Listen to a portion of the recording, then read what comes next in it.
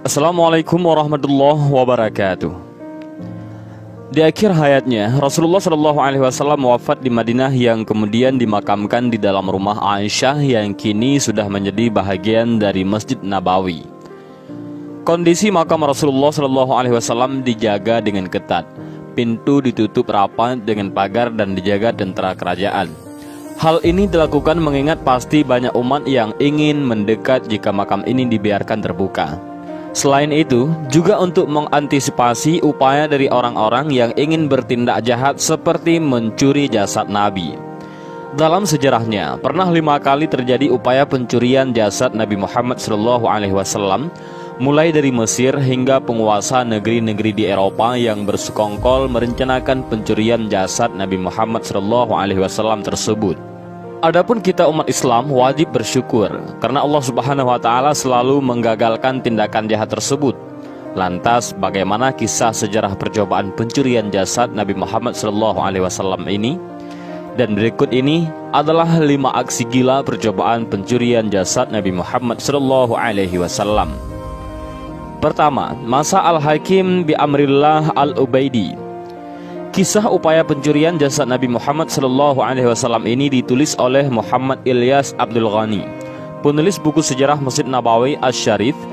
Dalam bukunya, ia menulis bahwa percobaan pencurian pertama dilakukan pada masa Al-Hakim bi Amrillah Al-Ubaidi. Al-Hakim bi Amrillah merupakan sosok raja dari Daulah Fatimiyah.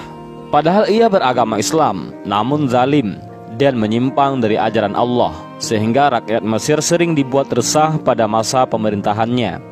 Pada saat itu, seorang zindik mengusulkan kepada sang raja agar mencuri jasad Nabi Muhammad SAW.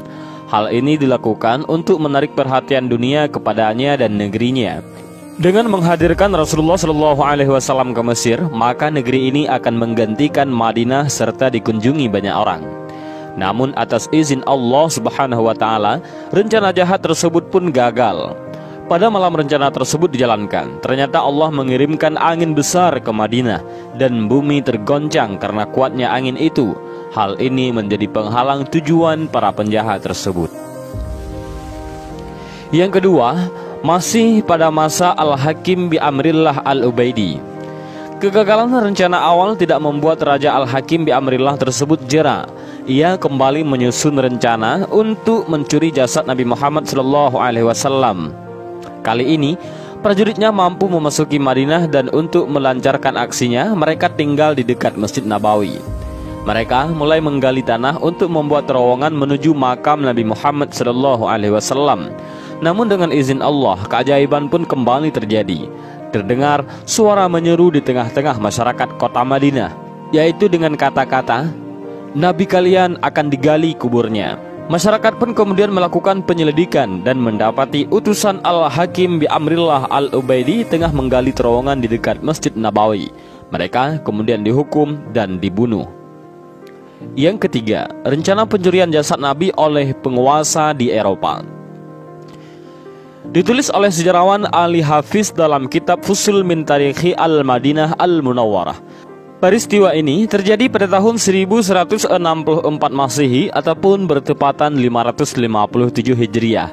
Saat itu, kondisi umat Islam dalam keadaan melemah karena masa perang salib sehingga para penguasa Eropa bersepakat untuk mencuri jasad Nabi Muhammad sallallahu alaihi wasallam.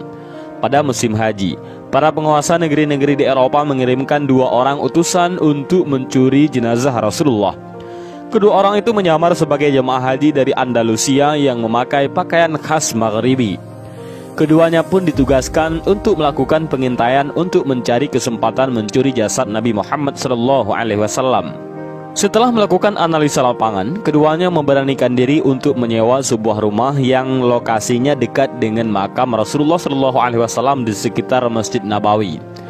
Mereka lalu membuat lubang dari dalam kamar penginapan menuju ke makam Rasulullah Shallallahu Alaihi Wasallam.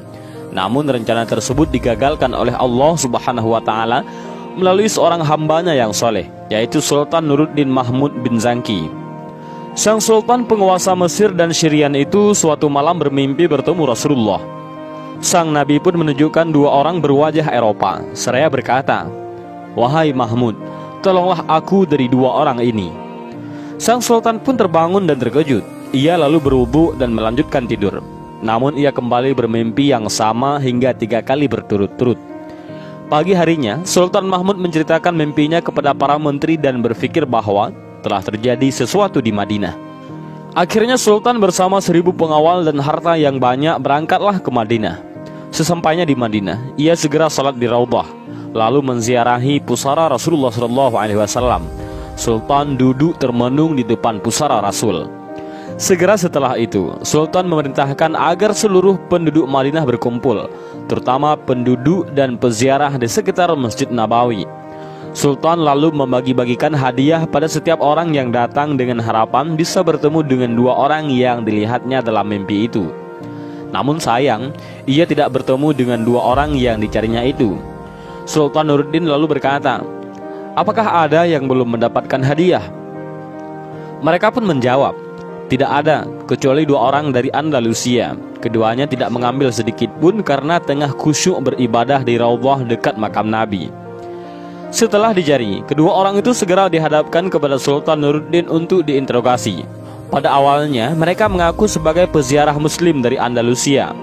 Namun wajah mereka terlihat gurat-gurat ketakutan dan jawabannya pun berbelit-belit. Untuk mendapatkan kebenaran jawabannya, Kedua orang tersebut kemudian dibawa ke bilik dinding dan dibukalah celananya. Ternyata kedua orang itu tidaklah berkhitan. Setelah diinterogasi terus-menerus, keduanya mengaku bahwa mereka adalah tentara salib. Keduanya mengaku melaksanakan tugas suci dari sebuah liga internasional untuk mengambil jasad Nabi Muhammad SAW dan dibawa ke Eropa.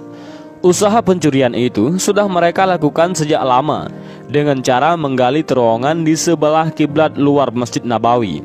Kedua utusan itu akhirnya dihukum mati. Yang keempat adalah kelompok perampok.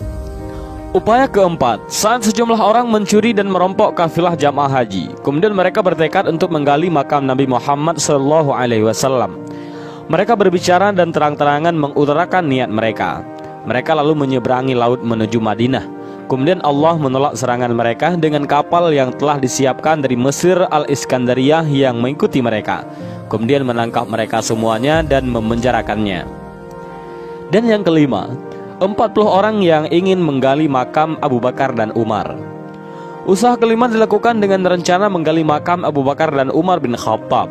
Itu terjadi di pertengahan abad ke-7 Hijriah. Sejumlah orang yang mencari 40 orang dari Aleppo, Suriah, ingin menggali kubur di malam hari. Kemudian bumi pun terbelah dan menelan mereka. Hal ini diceritakan oleh pelayan Al-Haram An-Nabawi pada saat itu. Beliau adalah Syawab Asyamsu Al-Mati. Dan inilah lima aksi gila percobaan pencurian jasad Nabi Muhammad SAW. Mudah-mudahan Video ini bermanfaat bagi kita semua. Amin ya rabbal alamin. Wallahu a'lam bishawab. Assalamualaikum warahmatullahi wabarakatuh.